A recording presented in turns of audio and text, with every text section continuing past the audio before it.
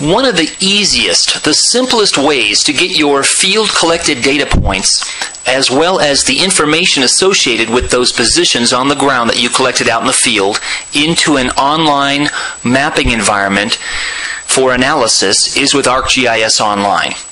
You'll be amazed at how easy and yet powerful it is to do that. Essentially, what we're going to do is we're going to use the search function and enter each one of our points individually. Then we're going to tag each one of those points with specific information, as well as multimedia, photographs, videos, etc. Let's get started.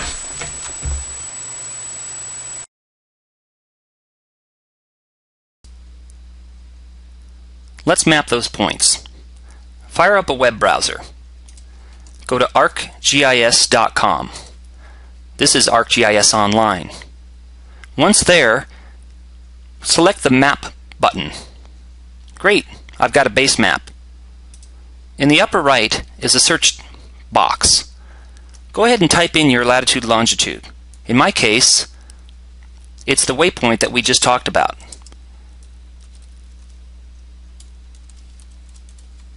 I'm remembering to put a minus sign in front of my longitude. Looks good.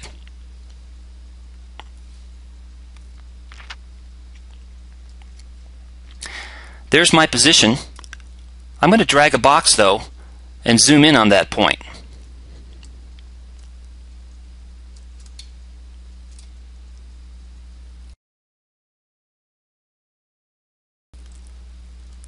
Now I'm going to change the base map. I've got a variety of choices here. I'm going to select one of the aerial photo choices or satellite image choices. In this case, a Bing Maps hybrid.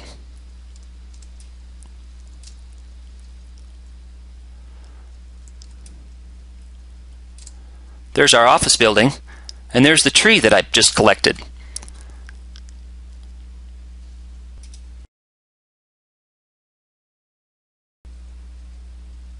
At this time, this point is a pop-up.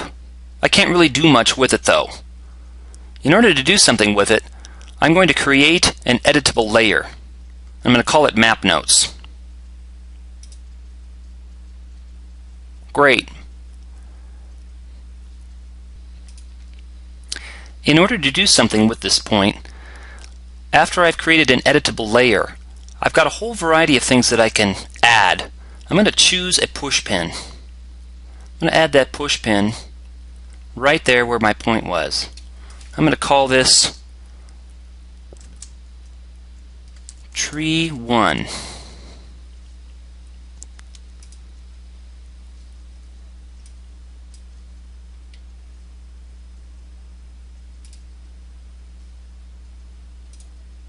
There it is, tree 1.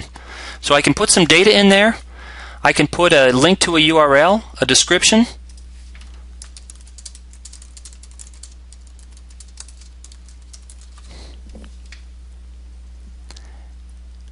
I can put a picture in there as well.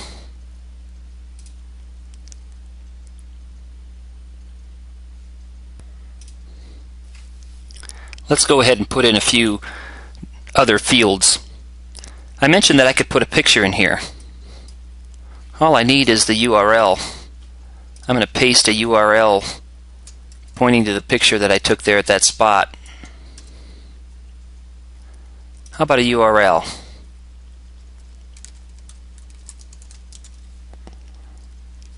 Since it's the Esri building, I'm going to type in esri.com.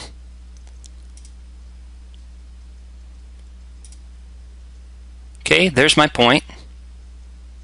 I see my metadata that I put in there. I can change the symbol at any time if I want to.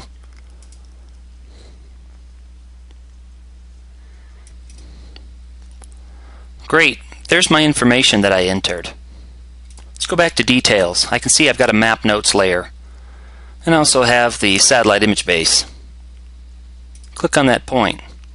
Ah, there's my tree. The trees, I should say, that I took a photograph of and also collected waypoints on.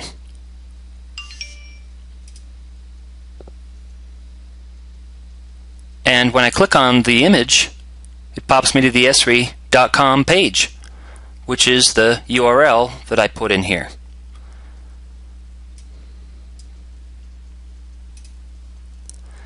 Just one more note. You may have noticed, but the latitude and longitude that I entered in for the position where I was standing on the ground, if I compare that position to the image on this satellite image,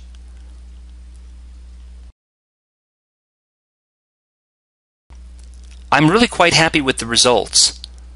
I'm not out here in the field, I'm actually right at this first tree. And so comparing the image to the position, even with a low-end GPS receiver, I'm really quite happy with the XY horizontal position accuracy.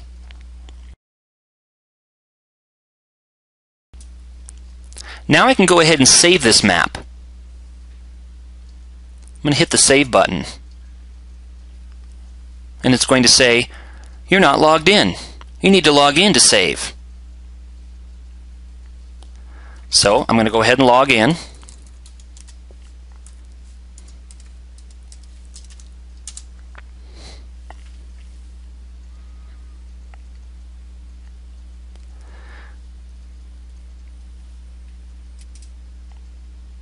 A few seconds about metadata are important here. Just like anything you store up on the internet, or anything you store locally on your computer. It's important to know what you name things. It's also important to give it descriptive tags so that you can find them later. And if you want to share this, you want to be able to have other people find it as well. So in this case, I'm going to type in some tags, a title, tags, summary, and I'm going to save it to my folder. Okay, I've given it a title, some tags, a summary, and I'm going to save it to my folder on ArcGIS Online. Great! Now to test it, I'm going to go to arcgis.com again.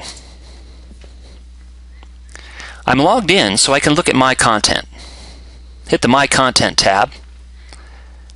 Scroll down. I know what I named it. I called it Esri Broomfield Tree Mapping in ArcGIS Online. There it is. But look, I haven't shared it with anybody yet. I'm going to go ahead and click on that, and then I'm going to edit. So let's go ahead and edit that.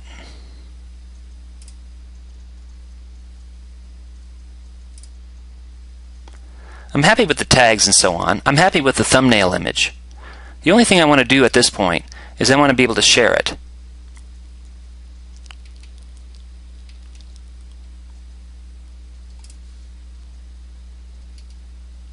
So I'm going to hit the share button and I want to share it with everyone.